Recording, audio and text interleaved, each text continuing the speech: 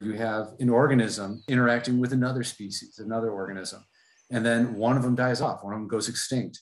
And whatever those traits or features that were evolved uh, to coexist with that species, that persists in the living species.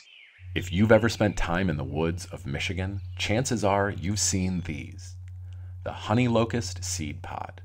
These long, curly seed pods have been found preserved in the stomachs of mastodons leading scientists to believe they were a popular food for these giant elephant like creatures. They would digest the sweet pods, and the seeds would pass through, landing in new locations. It's thought that the trees used the mastodons as one of the main distributors of their seeds. The mastodons liked the food so much, they would push down the trees to get at the pods in their top branches before they were ready to fall. Over time, the trees developed a defense.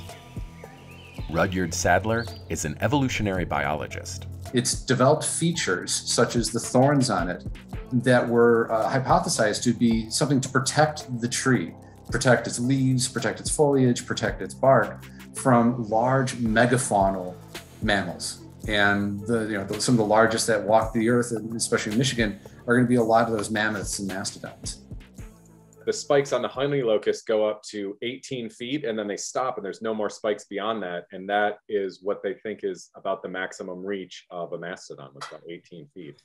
You're absolutely right. Yeah. So it's unfortunately we can't really do solid experimentation. I mean, that'd be ridiculous to try and go, let's let's resurrect a mammoth to test this hypothesis. But there are a lot of features in a lot of these different species that we can see that leads us to try and come up with the best hypothesized explanation for that feature. And it's there every day.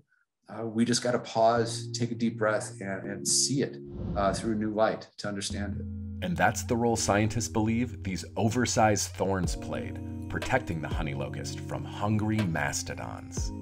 We may not see mastodons roaming Michigan anytime soon, but we can see the trees they shaped while they were here. So the next time you're in the woods, Take a second to look around.